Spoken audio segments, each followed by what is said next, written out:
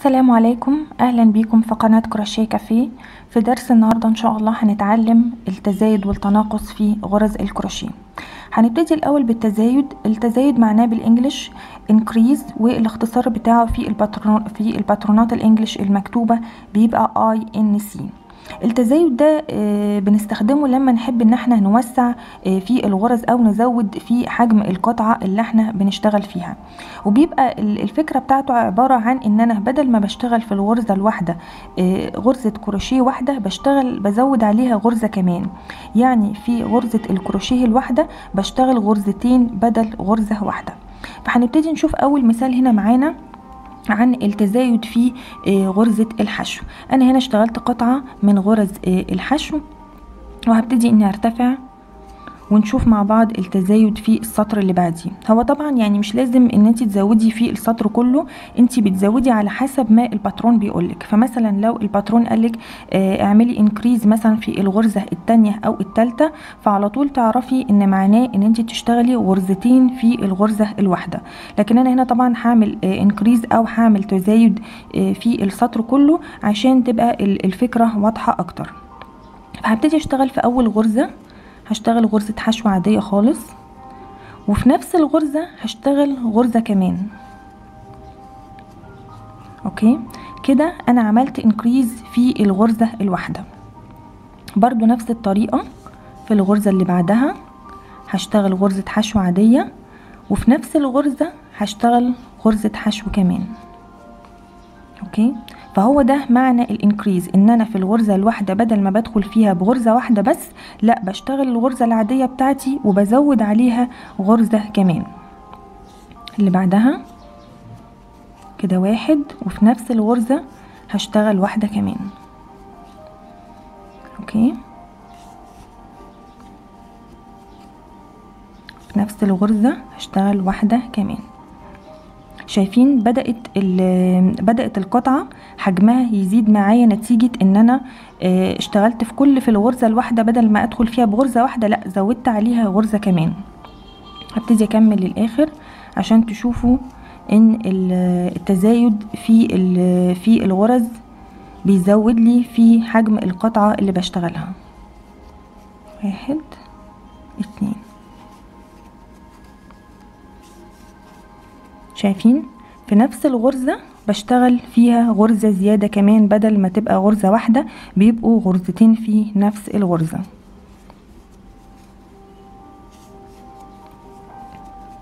Okay؟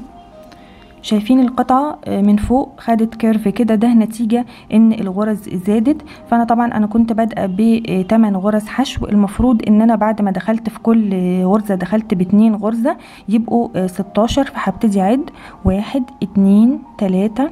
أربعة خمسة ستة سبعة تمانية تسعة عشرة إحداشر اتناشر تلاتاشر أربعتاشر خمستاشر ستاشر. مظبوط كده؟ ده نتيجة إن أنا دخلت في كل غرزة من التمن غرز بغرزتين فبالتالي القطعة بدأت إن هي حجمها يزيد معايا وزاد عدد الغرز. ده بالنسبة للتزايد في غرزة الحشو. دلوقتي هنشوف مع بعض التناقص في آه، غرزة آه، الحشو والتناقص اسمه بال English decrease والاختصار بتاعه في الباترونات ال English المكتوبة بيبقى DEC فلما ال pattern يقول لي اعملي decrease في أي آه، غرزة هو يعني يحددها لي ده معناه إن أنا هشتغل الغرزتين في غرزة واحدة أو هختصر الغرزتين بتوع الكروشيه هنقصهم أخليهم يبقوا غرزة واحدة. ففي عندي آه، طريقتين للتناقص. في التناقص العادي اللي هنشوفه مع بعض دلوقتي وفي التناقص آه، الخفي أو التناقص الم- المخفي واسمه invisible decrease. فهنشوف الأول التناقص آه، العادي وبعد كده نشوف التناقص الخفي ون- ونعرف الفرق ما بينهم. هبتدي الأول بالتناقص العادي. لو مثلا ال pattern قال لي اعملي decrease أو تناقص في الغرزة مثلا التانية أو التالتة أو التالتة أو الرابعة ايا كان بس أنا هشتغلها في السطر كله عشان آه، تبقى الفكرة أوضح. فهبتدي أشتغل في الغرزة عادي خالص هشتغل غرزة الحشو بتاعتي عادي خالص ومش هكملها للآخر وهسيب آخر حلقتين. زي بالظبط لما كنت بعمل لما بغير اللون شفنا في الدروس اللي قبل كده إزاي طريقة تغيير اللون. كنا برضو بنشتغل الغرزة آه لغاية نصها وما نكملهاش للآخر. فبرضو هنا عندي اشتغلت بس نص الغرزة وسبت الحلقتين وما كملتهاش للآخر. بعد كده هدخل في الغرزة اللي بعدها واسحب الخيط وبرضو أطلع من الغرزة وما كملهاش للآخر. هيبقى عندي بالشكل ده كده تلات حلقات على الإبرة. هبتدي أسحب الخيط وأطلع من التلات حلقات كلهم مع بعض. كده أنا عملت decrease أو عملت تناقص لغرزتين حشو وخليتهم بقوا غرزة واحدة. هنشوف في الغرزتين اللي بعدهم هنعمل فيهم تناقص برضو بنفس الطريقة. هندخل في الغرزة. Okay. وهنسحب الخيط ومش هنكمل غرزة الحشو للآخر. وبعدين هندخل في الغرزة اللي بعدها وهنسحب الخيط ومش هنكمل برضو الغرزة للآخر. فهيبقى عندي تلات حلقات على الإبرة. هلف الخيط وهطلع من التلات حلقات. أوكي؟ كده أنا اختصرت الغرزتين أو عملت فيهم تناقص وخليتهم بقوا غرزة واحدة. هاجي أعمل تناقص في الغرزتين اللي بعدهم. هدخل في الغرزة واشتغلها عادي خالص بس مش هكملها للآخر. هيبقى عندي حلقتين. هدخل في الغرزة اللي بعدها وهشتغلها برضو ومش هكملها للآخر. فكده هيبقى عندي تلات حلقات على الإبرة. هلف الخيط وهطلع من التلات حلقات بالشكل ده كده. أوكي؟ برضو آخر غرزتين عندي هعمل فيهم تناقص هدخل في الغرزة وهسحب الخيط وهطلع ومش هكمل غرزة الحشو للآخر. وبعدين هدخل في الغرزة اللي بعدها. واسحب الخيط وما كملش الغرزة للآخر. هلاقي بقى في عندي تلات حلقات على الإبرة. هلف الخيط وهطلع من التلات حلقات بالشكل ده كده. كده شايفين القطعة بدأت إن هي تتضم معايا وحجمها يصغر. فأنا كنت ب... فأنا كنت عاملة 8 غرز حشو. المفروض دلوقتي إن هما بقوا أربعة نتيجة لإن أنا اشتغلت الغرزتين خليتهم بقوا غرزه واحدة. فابتدي اعد واحد اتنين تلاتة أربعة. ممكن كمان أكمل تناقص لغاية فوق عشان نشوف الشكل أوضح. هعمل تناقص في السطر اللي بعديه برضو. هدخل في الغرزة واشتغلها وما كملهاش للآخر. وادخل في اللي بعدها واشتغل غرزة وما كملهاش للآخر. وبعدين الثلاث حلقات اللي عندي على الإبرة هسحب الخيط وأطلع من الثلاث حلقات. الغرزتين اللي بعدهم هشتغل غرزة واشتغل اللي بعدها. هيبقى عندي ثلاث حلقات هسحب الخيط واطلع من الثلاث حلقات. شايفين؟ القطعة بدأت إن هي تنقص معايا وحجمها بيقل كل ما برتفع وبعمل التناقص.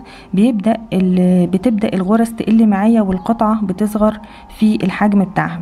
ده بالنسبة لطريقة التناقص العادي. هنبتدي نشوف دلوقتي التناقص الخفي أو ال invisible decrease وهو الفرق ما بينه وما بين التناقص العادي إن هو بي بي بيديني برضو تناقص للغرز بس بيبقى أنعم شوية في الشكل خاصة لو بشتغل في دواير أو حاجات زي كده. لو استعملت التناقص العادي بيبقى باين في القطعة اللي أنا بشتغلها بيبقى باين فيه زي بروزات كده صغيرة نتيجة للتناقص العادي اللي أنا نقصت بيه الغرز. فبيفضل في في بعض قطع الكروشيه إن إحنا نستخدم التناقص الخفي ولأن هو بيديني تناقص بشكل أنعم وبتفضل قطعة الكروشيه مستوية وما بيبانش فيها أي بروزات نتيجة التناقص. فهنشوف التناقص الخفي هنبتدي بس نركز مع بعض شوية. هو سهل جدا ومفيهوش أي حاجة ولا أول ما تتعلميه هتلاقي إن انت بتستخدميه على طول أكتر من التناقص العادي. الفكرة إن أنا زي ما شرحنا قبل كده لما خدنا السلسلة قلنا إن أنا في دايما عندي في غرز الكروشيه اي أي غرز كروشيه دايما بيبقى في ال top بتاعها في حرف ال V اللي إحنا شايفينه ده. Okay؟ حرف ال V ده. قلنا إن في back loop وفي front loop back loop اللي هي بتبقى دايما حرف ال V الضلع الخلفي وال front loop اللي هي بتبقى مواجهة لوشي وأنا بشتغل. فزي ما قلنا قبل كده دي الباك ودي الفرونت الباك والفرونت فاللي بيحصل إن أنا بدخل بالإبرة بتاعتي في ال front loop بالشكل ده كده وبقلب الإبرة بتاعتي عشان تسهل عليا إن أنا أعرف أدخل آه، في ال front loop okay؟ وبعدين في الغرزة اللي بعدها اللي أنا هعمل فيها تناقص برضو بدخل فيها بالإبرة بالشكل ده كده okay؟ فبقى عندي الحلقة اللي على الإبرة وبقى عندي الغرزتين اللي أنا دخلت فيهم آه، بالإبرة بتاعتي. ببتدي أسحب الخيط وأطلع من الحلقتين أول حلقتين على الإبرة okay؟ هيبقى عندي حلقتين هلف الخيط وهطلع من الحلقتين اللي بعدهم. تمام؟ كده أنا عملت تناقص في غرزتين ال- الكروشيه. هبتدي أشوف آه، إزاي هعمل تناقص الخفي في الغرزتين اللي بعدهم. هبتدي أدخل في الغرزة في ال front loop وبعدين في الغرزة اللي بعدها برضو هدخل في ال front loop أو الضلع الأمامي للغرزة. Okay؟ وبعدين هسحب الخيط وأطلع من الحلقتين اللي أنا دخلت فيهم بالإبرة. Okay؟ هيبقى عندي حلقتين على الإبرة. هسحب الخيط وهطلع من الحلقتين اللي فاضلين على الإبرة. تمام؟ تاني هعمل تناقص في الغرزتين اللي بعدهم. هدخل بالإبرة شايفين في ال front loop okay؟ وادخل في ال front loop في الغرزة اللي بعدها. Okay؟ هيبقى عندي الحلقتين بتوع ال front loop اللي أنا دخلت فيهم بتوع الغرزتين والعقدة العادية اللي على الإبرة. هسحب الخيط وهطلع من الحلقتين اللي قدام بس وبعدين هسحب الخيط واطلع من الحلقتين اللي فاضلين على الإبرة. تمام؟ هاجي في آخر غرزتين وأعمل تناقص خفي. هدخل بالإبرة في ال front loop وأدخل في ال front loop بتاع الغرزة اللي بعدها. Okay؟ واسحب الخيط واطلع من الحلقتين اللي قدام. Okay؟ وبعدين أسحب الخيط واطلع من الحلقتين اللي بعدهم. كده أنا عملت تناقص خفي لقطعة الكروشيه. هنقل على السطر اللي بعده ونشوفها برضو مع بعض تاني عشان تبقى أوضح. قلنا هندخل في ال front loop بتاع أول غرزة وبعدين ندخل في ال front loop بتاع الغرزة اللي وراها على طول أو اللي بعدها. وهسحب الخيط وهطلع من الحلقتين دول. هيبقى عندي حلقتين على الإبرة. هسحب الخيط وهطلع من آخر حلقتين على الإبرة. عندي آخر غرزتين. هدخل في ال front loop وهدخل في ال front loop بتاعة الغرزة اللي بعدها. Okay. وبعدين هسحب الخيط وهطلع من الحلقتين اللي على الإبرة. هيبقى عندي حلقتين هسحب الخيط وهطلع من الحلقتين اللي بعدهم. كده أنا عملت تناقص في السطر اللي بعده بطريقة التناقص الخفي. بكده نكون اتعلمنا طريقة التزايد في غرزة الحشو وطريقة التناقص